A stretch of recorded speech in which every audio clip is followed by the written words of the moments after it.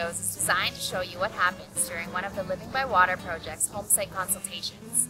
We hope that it will teach, encourage, and engage you in our program and help inspire you to participate in local stewardship in your own community. You can follow along with the videos using the online form on our website. The first segment will go through what happens when you arrive on the property of a shoreline resident and how to get all of the paperwork and logistics out of the way before you can start the home site consultation. So um, when you first get to a property, um, what you should do is obviously like park and then what you should do is go to the door, obviously introduce yourself, and then make sure that you um, get your confidentiality form and your photo release form um, signed and get all the paperwork done first. Um, because as soon as you step on the property, then like that form needs to be signed, otherwise technically you're trespassing. And the photo release, um, just explain what the photo release is for. Um, it's just to include the photos in the report and you won't use them for anything else. If you end up wanting to use them for promo, you'll ask them for permission. And um, so get that formed. If they really don't want to sign the photo release form, then you can't take pictures on their property and just let them know that that means that there won't be any photos in their report of their property, that kind of thing. And then once you've done that, um, you can, so what I normally do is I start in the house after that because I'm already in the house. The next segment that we're going to talk about is the buffer zone. The buffer zone, or riparian area, is the first line of defense between your property and the lake, making it extremely important that we manage this area in an environmentally responsible way.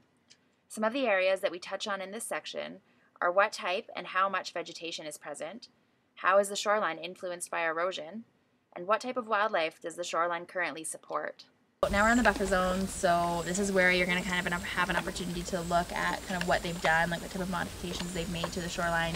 And um, normally they would be down here with you, so you can still kind of be talking to them and interacting with them as you go. But this is an opportunity for you to notice more things that than they might um, otherwise say. So um, first you're going to look at the shoreline and you're going to get, get a kind of get an idea in your head of how long it is, but also ask ask the residents. So um, they'll probably know just because when they bought the property, it, you know, they tell you how long it is. So I mean, you can see that his property runs from that retaining wall right there just into the trees over here. Check for evidence of erosion. So you guys can look. Let me know what you think. What what type of things would you be looking for? And so because he has installed a hardened structure, um, what does that tell you? That they may have had a bit of an erosion problem starting. And he's aware of it. He's aware that erosion is a problem, and he's trying to like lower Prevent the it? potential. Yeah. Okay, so so for for this property, what would you say um, for the evidence of erosion? Yeah. Minor, moderate. Okay, so what percentage of this shoreline would you say is affected by erosion? That's like taking all of it into account, not just the area. Just the shoreline. Okay. Oh, like the, it doesn't look like much has been moved off. Yeah. Okay, in this case, um, it would actually probably be close to 100. Um, because he's installed the gabion basket, that tells you, and he's he's installed it across his whole shoreline. That tells you that, um, you Oh, that's this, oh, I thought you said it went farther that way. right. Yeah, but did you look down there? Yeah, it didn't like just looks held in. It's eroding for sure. Yeah. Um, like even though it has trees, if you look at the trees, lots of them have exposed roots. Okay. Um, and it's just kind of like you can see that it's kind of undercutting right here um, on the side of the dock. So go take a yeah, you can go look. Um, in his in his initial report, he was kind of complaining about yeah, you can see it down here too. Um, he was complaining like yeah, this is an erosion thing that is happening, and it's consistent through this summer village. Um, it's just you know Okay. where the prevailing winds take the waves, and that's just the unfortunate. You can see it over here too, Laura. Yeah. So, yeah, that that's unfortunate. I remember when I first did this consultation, I was like, man, this sucks. Um, you know, this is such a nice, like, natural property, and still there's erosion. Yeah. So, um, I would say, so this is kind of one of those weird circumstances. So you would say like most of it, Yeah. but then definitely make a note, like, um, you know, most of it is affected by erosion, but most of it is completely natural. And where it's not natural, he's installed gabion baskets. So, um, yeah, what do you think the reason for erosion is? You guys kind of touched on this already. Very natural process. Wow. Yeah, the, the steepness of the slope when the rain's coming down. I mean, it's kind of happen down. You can see like trails of water almost like that would Yeah. kind of come down and where the erosion path really hurts. Yeah, for sure. Okay. So um, in the report, I mean, what would you suggest? Um, Just you make know, sure that he keeps all the vegetation that's already here here right now. Yeah. If there's any open spaces, maybe consider planting something yeah, in those. yeah. So I mean, you could try to give him yeah good suggestions for like that area Mm-hmm. where yeah, like you said, that is likely the path for running off water. And yeah, so perhaps you could suggest something like that has a good root system and might thrive there. Um, but likely he had vegetation there just like the rest of it, and it all got wiped out by you know just the runoff. I mean, that's, but that's something you can suggest. And then, um, what would you suggest based on the hardened structure? Um, he obviously needed it. I mean, you can even see how how cut in this bank is right here. Like this is much more forward than the rest of it with the trees, right? Um, so in this case, he probably needed a hardened structure. Um, so what do you suggest? Based Could you still let it soften up a bit with vegetation? is it soft?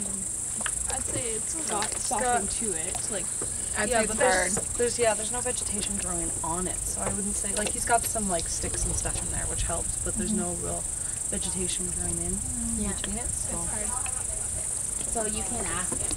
Um, do you do you pick the weeds that grow in in the riprap? Do you? Um, where is this is where you would say, um, check all that apply that describe the property's buffer zone. So what do you think you would check off for his property? vegetated shrubs and trees. Mm-hmm. And then um, would you make a note there? Make a note about like the vegetation that's in the runoff. Okay, so estimate the total width of shoreline that has been cleared to provide access to the water's edge for boating, beach views, dock, and other structures. It's not very much of a natural. Like, cause he's left most of the vegetation and just built the structures around it, so I'm not sure, like, it'd be kind of minimal. That's this, like the width. Is that what we're Yeah, it is the width. Like from I'd say almost the whole front yeah, of the, the, whole property. front like, of the shoreline. Like there's no vegetation. On top. Yeah, so I would I would write down the width of this structure, because like if there is vegetation underneath it, but obviously it would have had to have been cleared cleared out a bit. So I would say like from, you know, from these these wooden stairs, just right on the shoreline here. Um, so I don't know, maybe that's like ten meters.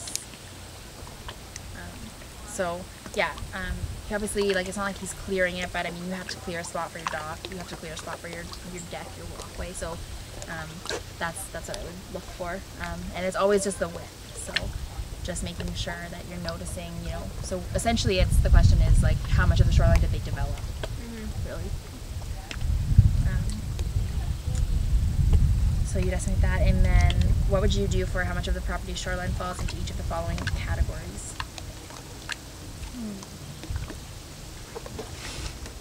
Of the shoreline.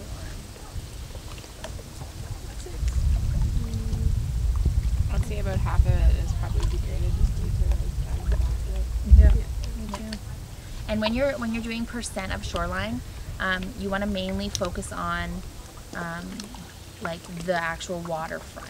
Okay, that'll so what's on the water? that'll make it easier. Okay. Well, Um, more than. so yeah, then more than the thing, like Well, but That half is natural. Yeah, that half is all good, right? Yeah. So, um, but it is eroding. Yeah.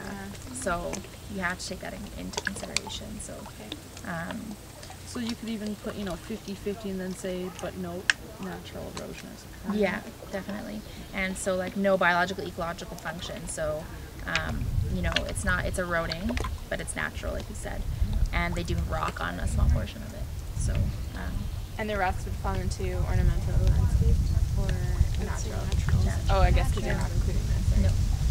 Right? because that, that kind of goes more under the like built structures and like hardened structures. Okay. So in terms of like what they've done to their shoreline, most of his is natural. And this is an interesting property because it's um, it's really it's varied in like sort of what what they've done. So you need to take that into consideration when you're writing the report. It's not always just cut and dry. Like you know, is it turf grass to the water's edge or is it not? It's, it's sometimes it's a combination of things. And so like um, you know when you're making your recommendations, like he did a good job. You know, given the confines of like what his shoreline is experiencing. Um, okay. So, is there evidence of alien invasive plants on the shoreline? So you would ask, but also you can you can look around. So, did you guys notice any? There's dandelions. Anything else?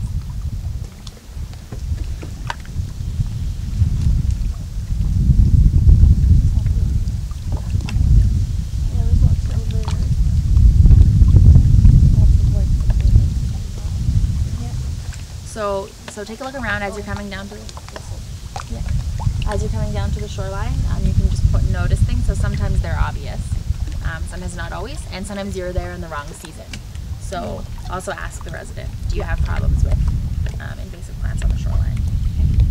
Um, and then they'll tell you if they have them sometimes, if they have them a lot, um, and that'll probably be pretty consistent across the summer village as well. And then you'll ask them what they're doing with the invasive plants. So why do we ask that? Well, just so that they know they're aware and to see if they recognize the plant and if they are attempting to like control them in any way or if they're just letting them go because they think maybe somebody, you know, has a bunch of purple loosestrife and thinks it's pretty. So Yeah. they, like, they kind of gauge what they know about invasives. Just by asking. And if they're spraying, what kind of products they're using. Because they might be using good products in the house, but then the stuff they're using to spray could be like, Yeah. chemical. Yeah, and so like if they're pulling versus if they're spraying to manage, um, you'll have to look into what's the best way to manage that particular plant, and then you know, and then incorporate the environmental concerns. So if they say like you know for leaf you pull it and burn it, spraying is probably not going to be that effective.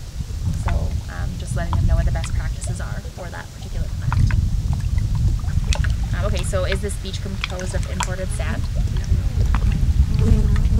Um, so are there sources of nutrient contamination the shoreline?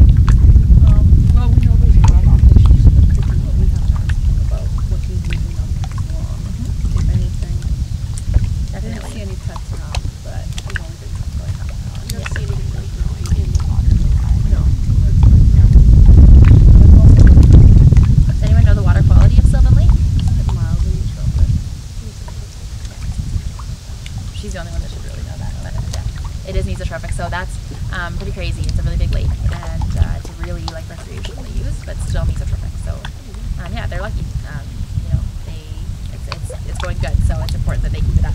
Um, you know, being proactive is, is more valuable than kind of trying to mediate damage later. Um, okay, so any special wildlife have present on site. So um, this is where you can say, you know, I observed this, or you can ask the resident. So like, oh, you did you notice? So like I was I was telling Dana, I think, um, about purple martins um, and the houses, what they look like. So sometimes you'll see that you'll see that house and you'll say like, okay, obviously there's purple martins on the on the property. Um, and then you kind of bring that up with the resident, and so then you can ask the resident, um, you know, so do they have any resident wildlife that they want to tell you about? And then also, is there anything that they'd like to encourage? Um, because you know, as we know, lots of plants, you can plant things to encourage different types of wildlife and that kind of thing. So, um, you know, if they're like, I'd really like to have some hummingbirds, then in the can give them suggestions on how to encourage hummingbirds. And that's where you think, no, Yeah, definitely. So where it says like, is, and it's nine point three, yeah, that should be ten. oh, right there. Any other resident would like to encourage. Okay, so dead standing trees on the shoreline. Why do we ask that? Um, because you wanna know if they're removing them or they're getting them, because they're like controlling, keeping it, keeping it natural and providing fish habitat. Um, okay, so the next question: Do they clear away driftwood and natural debris? So does it look like he does? No. Based on what? There's reeds and stuff out of there. Yeah. So is that good or bad or That's good. how come? Cause it, uh, uh, provides fish habitat and helps with erosion. And it probably observing some radon. It helps soften the daddy on the basket. Yeah, for sure. Okay, so um, we're gonna go on to built structures, and we'll go down to the dock for that, I think.